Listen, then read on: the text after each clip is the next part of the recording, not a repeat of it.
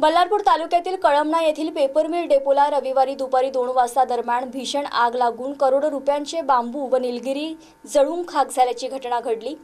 नजीकचा petrol pump देखील आगीच्या भक्ष्यस्थानी पडला. या आगीत कोट्यवधी रुपयांचा कच्चा माल जळाला. दरम्यान माजी अर्थमंत्री आमदार सुधीर मुनगंटीवार यांनी घटनास्थळाला भेट देत पाहणी केली.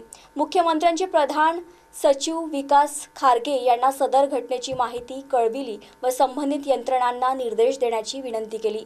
तसेच जिल्हाधिकारी अजय गुल्हाणे यांना ताबडतोब आवश्यक उपाययोजना करण्याचे निर्देश आमदार मुनगंटीवार यांनी दिले.